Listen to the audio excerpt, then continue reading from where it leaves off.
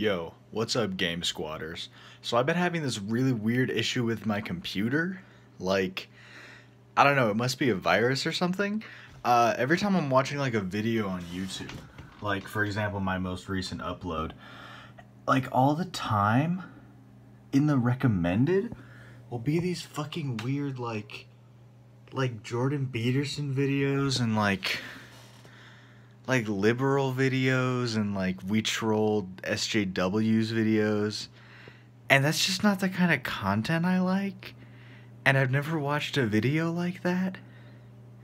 And I guess I'm just really confused.